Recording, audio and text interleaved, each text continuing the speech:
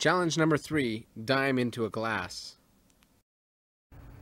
Okay, dime into a glass. I love this one. Now, if you can take a look at these, these glasses with water here, they're two shaker glasses, right? Or kind of an average beer pint uh, glass. Now, um, what you want to do here is you want to bet someone, I don't know, a dollar, a drink, a car, date with your sister, right? Something that you'll be able to put a dime and be able to put it into the bottom of this glass on the inside without spilling the water. Right? So take this dime, put it in the bottom of this glass on the inside, and not spill the water. Now, if you can get a close-up on here, if you notice the, the two glasses are filled with water. It's filled up to about halfway. Now, a lot of people, when you show this to, they just think that's the trick. They think, well, that is so cool. How'd you get that done? So what you do, first of all, here's a shot of the glass. Right, now, it has a fairly wide rim, if you can, you can see that. It's fairly wide there. You take two glasses, you uh, fill up a sink with water, right? you submerge the two glasses underneath the water, you seal them, and nice and clear, and you turn it upside down.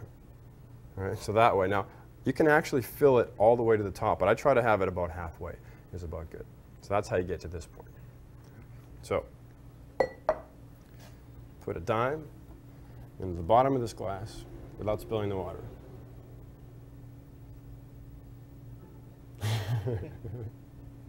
Mom knows.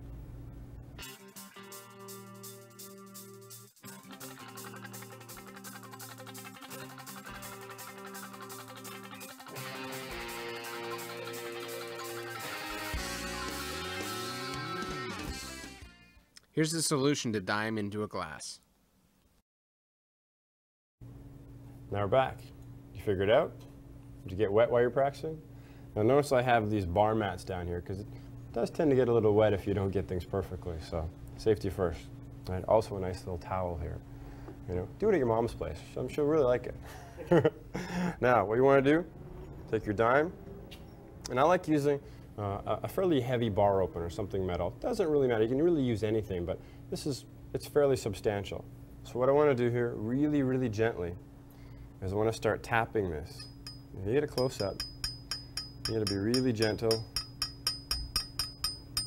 And I'm just, well, see I'm making a little bit of an area there, just about there. I don't know if you can get a close-up in here, Steve, but I've, I got just a little area that I can fit the diamond there. Do you got a shot of that? Yeah. All right, right there.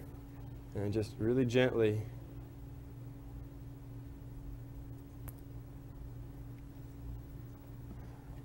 come back down. And then you tap it back for safety. Very nice. Want to go double or nothing?